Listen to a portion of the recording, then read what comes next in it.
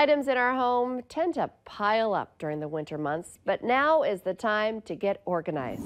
Ahead of spring, the Valley Today's Christy Larson is joining us live with the Home Helper Services experts. Uh, well, yesterday was the first day of spring. It's, it's time to start getting ourselves organized for the change of seasons, it sounds like, Christy. That is right, Lisa. You know, we want to get started now so that way you can enjoy it outside once that spring weather comes. So let's talk with Jeffrey here about doing our closet first. That front hall closet gets to seem to be really piled up. Right. That's where all your shoes go, your coats, and of course, winter coats are bulky and they make everybody just puffy and fat. so really, start. It's time to just take them out, lay them flat. Again, you don't have to spend money to organize. Grab a box from your garage, lay them flat, stuff them in there. I got ten coats in there. Grab another box, throw it inside that box. Get all your hats, all your winter gear, your scarves, everything. Throw it in there, tape it up, throw it outside. And nice two, and your shoes, you can organize them by season. Right. We're so freaky around here. We have two cubes for winter shoes, and then we have two cubes for summer uh, shoes, especially golf shoes, since Jim is a golf fanatic. Yeah.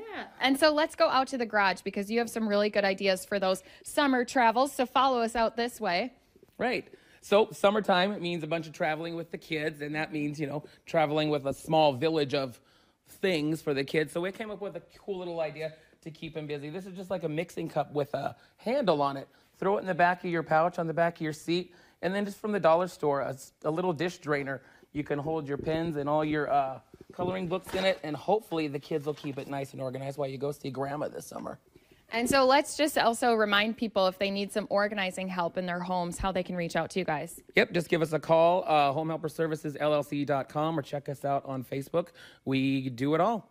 And I think one of the big things is too thinking about how can I take everyday items that are in my house, maybe I'm not using them, and put them into different ways to get organized. Of course, we're going to be showing you more from the bedroom, more from the kitchen. It's all coming up, Lisa, on the Valley today. That's good stuff. I, I love these segments, and no one's ever really addressed the back seat. And I have two kids, and the back seat is disgusting. So I'm going to try this and see if they won't keep all of it, even half of it in uh, those bowls. That'd be great. Christy Larson reporting live for us this morning. Thank you.